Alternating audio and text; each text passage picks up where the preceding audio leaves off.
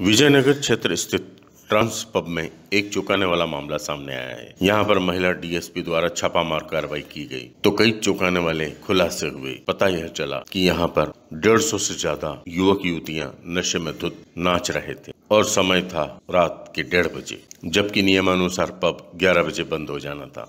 इसके बाद विजयनगर थाने को सूचना दी गई, लेकिन वहाँ से कोई भी नहीं पहुँचा।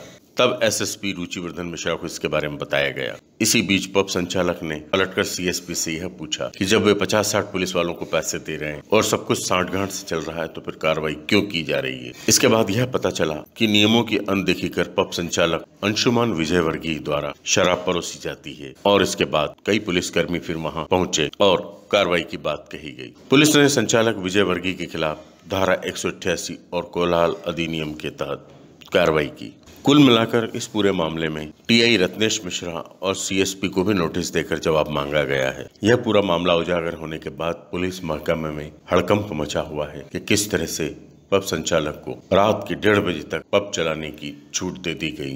पब में पुलिस के पहुँचते ही युवक युवतियों में हड़कंप मच गया। अर्धनग्न युवक युवतियाँ मौका पाकर वहाँ से भाग निकले। कुल मिलाकर सड़क पर भी बेहद अजीब सा नज़ारा हो गया, जब अर्धनग्न युवक युवतियों को लोगों ने भागते हुए देखा, कोई कहाँ भाग रहा था? कोई कहाँ भाग रहा था? Subscribe our channel and press the bell icon for more updates.